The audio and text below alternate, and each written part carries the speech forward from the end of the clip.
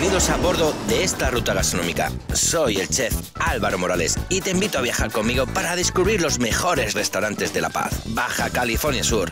Conoceremos sus historias, sus cocinas, sus platillos y sabores de alto vuelo. ¿Estás listo para el viaje más sabroso de tu vida? Quédate conmigo, que ya iniciamos. Pasaporte gastronómico. Buen viaje y buen provecho.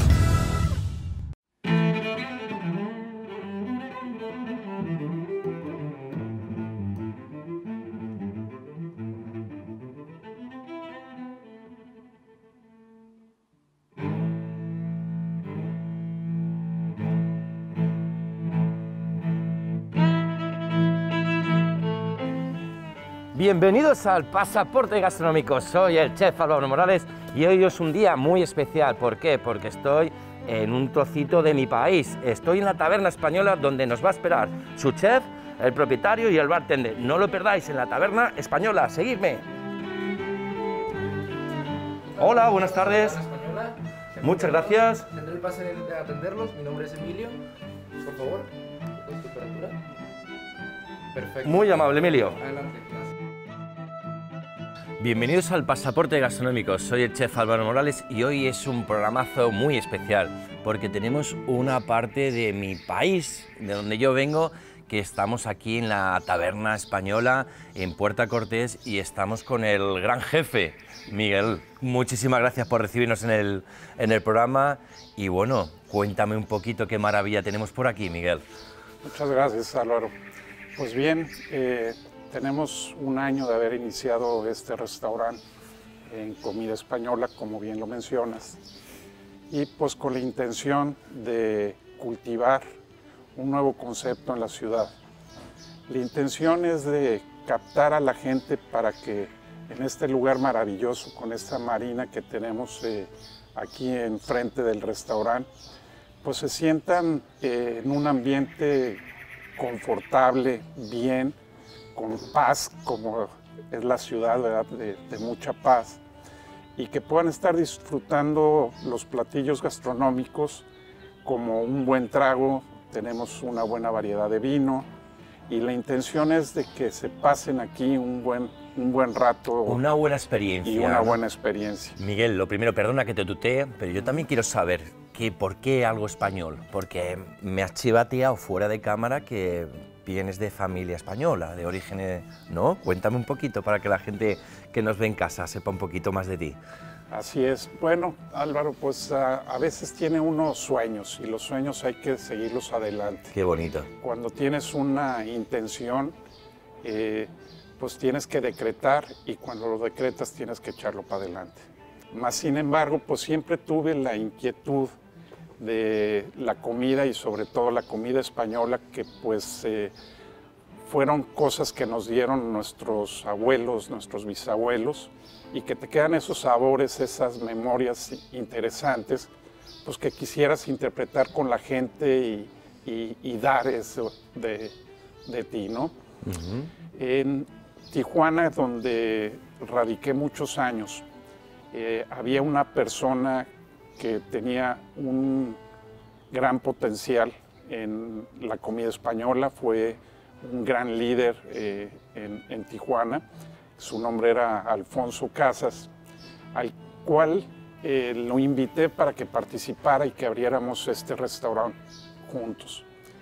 Y en el inter de las pláticas de la sociedad que íbamos a abrir, caí con una enfermedad, caí en el hospital, eh, adelanto el proyecto para animarlo, voy a Tijuana para enseñarle todo, darle ánimo y demás para que saliera adelante. Por desgracia, eh, no tuve ya la oportunidad de verlo, falleció Oh, y me quedó pues mi intención y mi gusanito del restaurante y se me vino para abajo totalmente todo. Pero cuando decretas algo y sigue tu energía pensando en que me gustaría hacerlo, lo quiero hacer, hay muchas memorias de mi familia, lo quiero para mis amigos, para, para pasártela bien. Eh, continué con esa frecuencia y tuve la oportunidad de toparme en el camino con José Manuel Serrano, que es nuestro chef principal. ujú. Eh, tuve una plática y me interesó bastante su currículum, su forma de ser. Eh, me Y- recordó mucho a Y Alfonso. permíteme que te diga que cocina como Los Ángeles. Es- Porque te habrá chivateado que es uno de mis sitios favoritos, tu casa. Muchas gracias. ¿Eh? Mira, se me ponen los vellos de punta. Me acuerdo de una fabada que nos hizo cuando estuve aquí eh, conociendo tu casa y después mm, que no se me va del paladar las croquetas de bacalao, esos pinchitos. Perdona que te haya interrumpido, No, no. Tiene un sazón, como dicen ustedes, que es una auténtica maravilla aquí en la taberna española. Perdona que te haya interrumpido, Miguel. No, al contrario. Era una, es, es una joya que estaba desperdiciada realmente. Eh, cuando tuve la oportunidad de que me diera la atención por primera vez, con las deficiencias que tenía y todo, vi que, pues, que tenía un, un algo más que mucha otra gente. Cuando regresé para volver a, a ver nuevamente, a cerciorarme, pues ya había cambiado de trabajo, había renunciado y con las preguntas que fui investigando, me lo fui a encontrar en una pizzería. Cuando me enseña su currículum, la verdad quedo un poco impresionado porque la es, es una persona muy preparada, pero demasiado preparada. Y ahí es donde me vuelve otra vez la idea y le digo, te invito, vamos a abrir un restaurante español. Eh, no estoy todavía listo completamente, pero en el Inter vente a trabajar aquí al restaurante que tenemos en Lodayaca, para que nos vayamos conociendo, para que nos vayamos soltando, y en su momento creamos el, el restaurante que traigo en, en mente. Aceptó la, la propuesta, estuvo más de un año trabajando con nosotros en ese restaurante, y pues llegó el momento de crear el restaurante que tienes aquí presente, un restaurante que tiene pues, detalles eh, muy personales eh, que me gusta compartir con el resto de la gente, como son pues, las mesas con los barriles. Sí. Eh, podrás notar los piratas en el lugar Ajá. donde estamos. Soy amante del mar y es el propósito de lo cual me vine a vivir a La Paz. Entrando, pues vas a toparte con las tapas de, de los barriles. ¿ok? Y me gusta mucho eh, las frases positivas, y, eh, cómicas y demás. Y pues vas a encontrar alrededor del restaurante que siempre hay un mensaje que ayuda y sirve a las gentes que lo separan, lo leen y dicen, ah, caray, esto está muy bonito. Y le sacas una sonrisa, ¿no? Y le sacamos una Qué importante sonrisa. eso, Miguel, ¿eh? es. Cuando lleguen a tu casa, como te comentaba, yo he venido varias veces, es uno de mis sitios favoritos, tienes una cava de vinos increíble, el producto es fantástico y qué más y qué se puede decir del buen servicio, del buen hacer que tenéis en la sala o como decimos, como decimos nosotros en España la sala o los meseros, como dicen ustedes. Miguel, pues muchísimas gracias. Creo que con tu permiso nos está esperando el chef donde vamos a visitarle y vamos a hacer, vamos a ver el buen hacer que tienen ustedes y pues le vamos a decir a la gente que nos ve en casa que tenéis la taberna española aquí en Puerto Cortés con un paisaje que es una auténtica maravilla, como os hacía referencia, buen servicio, el buen hacer de la cocina y el sitio es espectacular. No podéis dejar de venir. ¿A dónde? Aquí a la taberna española. No os vayáis que seguimos en pasaporte gastronómico. Nos vemos enseguida.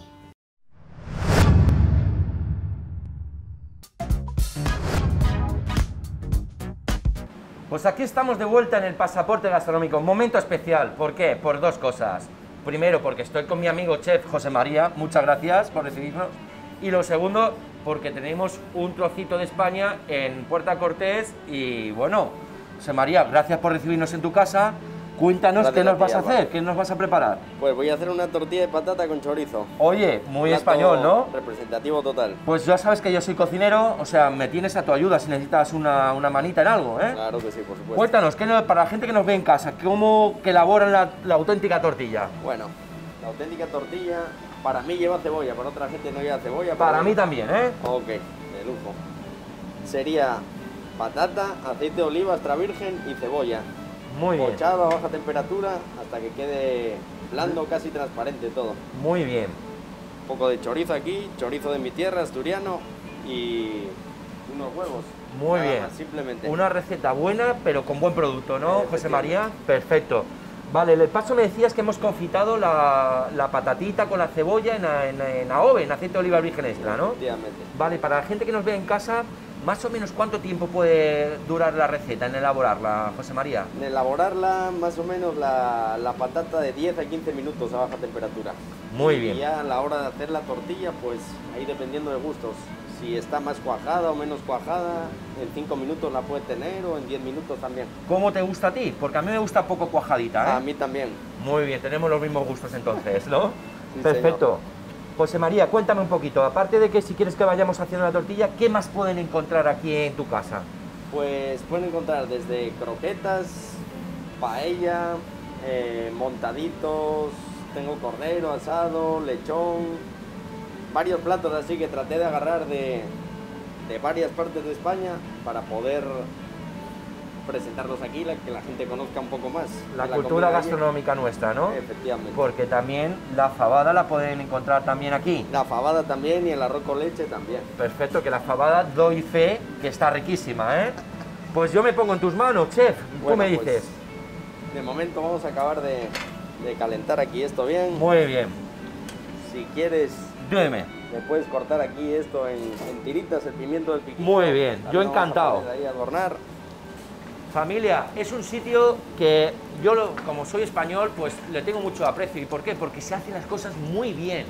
Y como veis, eh, tienen un productazo, que para mí eso es importante. Traen producto español, el chef es español y tiene una mano, tiene un sazón increíble. Chef, así en rodajitas, o sea, en, la- en tiritas, Juliana. Ah, así de lujo. Muy bien. Sí, señor. Bueno, vamos a colar aquí. Escurrimos el, el sobrante de- del aceite de oliva virgen extra, ¿no? Así es, señor. Muy bien. Lo aprovechamos para... Se pueden freír unas patatas ahí, volver a hacer más tortilla, lo que sea. No se desperdicia nada. Muy bien. Oye, José María, cuéntame, ¿cómo, cómo llegaste, aterrizaste aquí? Ya me ha comentado algo Miguel, pero yo sé que el corazón te El- lo tocaron, una Ah, mexicana, ¿no? Así es. Estamos en el mismo caso, ¿no? Creo que sí, creo que Muy sí. bien. ¿Cuánto tiempo llevas por aquí en la taberna Pues, española? En Taberna Española un año y medio y aquí en México cinco años. Muy bien. Cinco años desde que conocí a mi mujer y, y desde que me casé con ella. Llevamos cinco años casados ya también. O sea, que ya eres casi español, mexicano. Ya tienes ahí... Una mezcla ya, ya no, ya no mezcla. tengo... Ya soy de todos los lados ya. De todos lados. Aquí hacemos la mezcla con el choricito. Habéis visto que le ha echado un poquito de sazón de sal, De ¿no? sal, sí, Muy sí. bien. Aunque el chorizo ya viene un poco medio salado, pero un poco más, no le viene mal también. Ok. ¿Y ahora qué haces? Directamente ahí lo- los bates directamente con la, torti- con la patata y el chorizo, ¿no? Efectivamente, Muy bien. Ahí tiene chef. muy amable. Ya, Eso aquí. es. Bueno, me decías que tenemos croquetas, eh, José María, eh, pinchos. Tenemos esos lechones, el lechón lo tienes en carta, ¿no? El lechón lo tengo en carta entero y también viene porcionado. Muy bien. ¿Qué horario puede, la gente que nos ve en casa, qué hor- cuándo puede disfrutar de tu casa? ¿Cuándo pueden venir a Eh, disfrutar del restaurante? Pues los lunes descansamos, sería a partir del martes. Sería martes, de martes a domingo. De martes a domingo y a qué hora está operativo que puedan venir ya para acá. Los martes de 2 a 10 y media y de viernes a sábado de 2 a 11 y media y los domingos de 2 a 9 y media. Perfecto. Familia, ya veis, excepto el lunes, podéis venir todos los días de la semana que vais a encontrar esta maravilla de cocina. Muy bien, chef. Qué rico. Qué sencillo es la tortilla y qué buena, ¿eh? Efectivamente. En- es que en España creo que trabajamos más el huevo durante todo el día. Aquí, en, más o menos en México o en La Paz, está asociado el tema de la tortilla, ¿no? Como lo dicen, o la omelette, más para los desayunos, ¿no? Pero nosotros consumimos el huevo durante todo el día prácticamente, ¿no? ¿Cuál es el plato que más sale aquí, José María? El que El- digas, el plato estrella. El plato que más sale ahora mismo está en- entre las croquetas, el lechón y el cordero. Yo doy, yo doy fe también de esas croquetas de bacalao que se me vuelven loco, ¿eh? O sea, perfecto. Vemos que ya empieza a salir algo del toque de ahumado, me o sea, del toque de humo, ¿no? Así y ahí es. te sirve de referencia, ¿no? Ese es el momento idóneo para ya. Sellarla, ¿no? Así es. Muy bien. Muy bien. No es la primera que haces, ¿no? Por lo que Eh, veo, ¿no? No, ya hice alguna que otra por ahí. Alguna que otra, ¿no? Alguna que otra. Qué bien huele esto, ¿eh? Qué rico, qué maravilla. Wow. Lo mejor esto que hay. Perfecto. No creo que esto ya, así como está, Wow. otra vuelta. Ya dependiendo ya el punto que le desee el cliente o... Perfecto. Si la quieres más hecha, menos hecha, ahí al gusto de, de la del persona. sí. cliente. Perfecto. Qué buena pinta. A ver. Y entonces me comentabas que os traían producto español, ¿no? usamos producto español, aceite de oliva, pimentón, el chorizo, este es asturiano, la morcilla también de la fabada, Asturiano de tu tierra. de mi tierra, sí señor. ¿eh? Muy bien. ¿Cómo terminamos en la tortillita? La tortilla, Jugosita, ¿eh? Qué rico.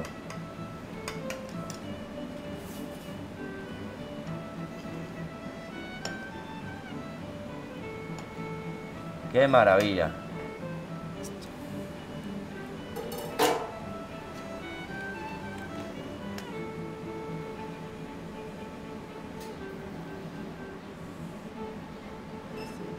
Me comentaba Miguel eh, que has hecho la apertura del restaurante, ¿no? Que, que está muy ilusionado, me ha hablado en maravillas de ti, o sea, eso se, es de agradecer por parte del patrón, ¿no? ¿Eh? Se le cae la baba cuando habla de ti, ¿eh, José María? no, es... Yo la verdad que es una persona que le debo, le debo mucho, Muy bien. porque gracias a él he podido, todos los conocimientos que yo tenía, poder plasmarlos aquí. O sea, es algo, algo que yo le agradezco mucho. Muy bien.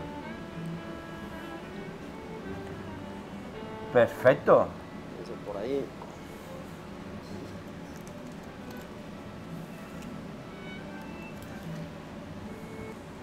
Esta tortillita la tienes en carta. Esta tortilla la tengo en carta, la de chorizo. Perfecto. También tenemos de jamón serrano, de queso, de champiñón y si la quieren natural, también natural. Al natural. Pues vamos a probar esta maravilla y a continuación nos vamos por su compañero, el bartender, que nos va a hacer una de sus especialidades. No os vayáis, que estamos donde? Aquí en la taberna española. No os vayáis, pasaporte gastronómico con mi amigo José Manuel.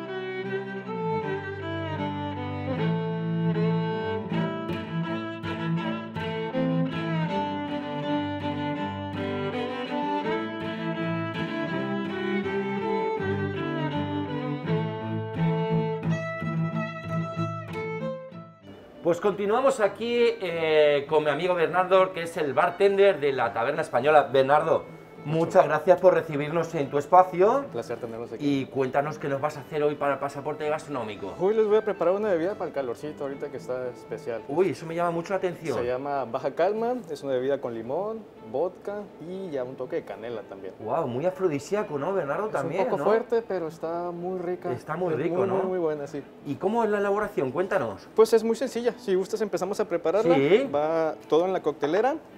Empezamos con el vodka, que es una onza. Bernardo, cuéntame un poquito. Ajá. Me comentabas fuera de cámaras que llevas un año y medio ya en la taberna, Sí, que- exactamente. pero participabas dentro de- del grupo, porque tenéis otro restaurante también aquí. Sí, pues es el restaurante de Ayaca. Pues somos, eh, somos hermanos prácticamente. Muy bien. Ajá. Que es un referente gastronómico en cocina japonesa en La Paz. Exactamente, sí, del, pues yo creo que es el mejor restaurante aquí en La Paz de Sin comida duda alguna. japonesa. Exactamente. Puede ser, porque me han hablado maravillas. Sí. Cuéntame, ¿qué tenemos ahí? Este, esto es jarabe de azúcar. Jarabe de azúcar. Pusimos el vodka, luego triple sec también. Ahorita es jarabe de azúcar, tres cuartos.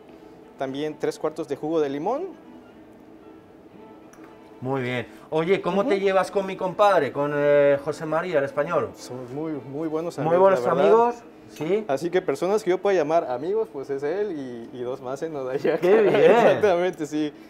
Sí, pues tenemos gustos muy, muy similares. ¿Y se porta bien trabajando como jefe o, o tiene su cosa? Porque nosotros los españoles tenemos nuestro pe- temperamento, dice. Tiene un carácter fuerte, pero, Tiene un carácter fuerte, ¿no? Pero pues todos lo tenemos. También. Sí, este es un amargo de canela. Le voy a poner unas gotitas nada más. ¡Wow! Qué bien, que es como un extracto, una, una esencia. Sí, pero es amargo. es- Amargo. Está tan concentrado que, que es amargo. Ok. Ajá, te le puse jarabe de canela, que este es dulce para dar, para dar el sabor. ¿Lo hacéis vosotros el jarabe? Me imagino infusionado, ¿no? Ah, sí, sí, ajá. Muy bien. Este, y nos agregamos hielo y, Sí. y shakeamos. Oye, cuéntanos. Sí, ¿Y esta maravilla que hay por aquí? Pues son las sangrías aquí. Pues si algo nos distingue es que tenemos una amplia variedad de sangrías, manejamos ocho. Cuéntame estas, ¿qué, tiene, qué tenemos por aquí, Pues Bernardo? estas, pues son las, las que más se venden, las, las que más le gusta a la gente, que es la sangría azul. Esta tiene especial que lleva un poquito de licor 43. ok. Es muy aromática, muy, muy, muy rica. Está la sangría tradicional, que a grandes rasgos podría decirse que es como un tinto de verano. Ok. Es muy similar al tinto de verano. Está la tradicional, la perdón, tradicional es esta. Sí. Esta es la caribeña, que es con maracuyá, y la sangría de fresa, que es la más popular aquí de Como todas. sabéis, al final, siempre en- un restaurante cuando vas eh, o te sientas, primero es el impacto visual. Y esto lo tenéis muy conseguido, ¿eh? y Sí, sobre claro. todo tiene una pinta que seguro que está buenísimo. Sí, lo, lo trabajamos bastante. Muy bien, Bueno, Bernardo. procedo a shakear.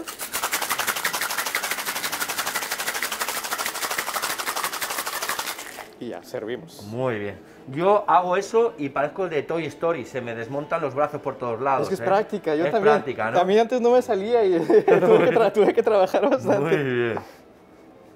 Sí, pues aquí todo se consigue con, con la práctica. Entonces, nada, Qué rico. para adornar ponemos la canela. Y esto es azúcar con canela. Bernardo, veo que al fondo en la sala tenéis una cava maravillosa de vinos, ¿no? Exactamente, sí, tenemos Tenéis una, muy buenas referencias de vinos, ¿no? una gran variedad de vinos. La mayoría son españoles, pero también manejamos de aquí, de, de, de- de la región aquí de México. Cuéntame, para la gente que viene de, de fuera, Ajá. ¿qué experiencia? Ya hemos visto que tenéis cocina, una bartender, pero ¿qué más le podemos ofrecer aquí en el puerto, en el Bueno. puerto donde estamos ubicados? Lo que nos distingue aquí es la- el servicio, la calidad, servicio. Los, los compañeros, eh, la amabilidad, el buen trato, la verdad te, te sientes como si estuvieras en tu casa cuando te están atendiendo aquí. Qué importante es Eso es lo, lo más importante aquí, el, el- el servicio y la atención de los compañeros. Uno, Muy pues, bien. uno se siente en su casa prácticamente. Yo os voy a decir una cosa, yo nada más llegar y cómo me habéis recibido, ya sabes que es uno de mis sitios favoritos, cuando vengo, cuando puedo escaquearme o escaparme, vengo a vuestra casa a disfrutar, pero siempre me hacéis sentir muy bien en vuestra casa. Os felicito por ello. Muchísimas gracias. Entonces tenemos por aquí Este se baja calma se llama. Baja calma. Familias, pues nada, estamos aquí en Pasaporte Gastronómico, Taberna Española, no lo podéis perder, es un referente gastronómico aquí en La Paz, en Puerta Cortés. No os vayáis, que seguimos en Pasaporte Gastronómico. Salud. Bueno familia, esto ha sido todo en Pasaporte Gastronómico. Nos vemos en el próximo programa y familia, muchísimas gracias por recibirnos y nos vemos en el próximo Pasaporte Gastronómico. Chao.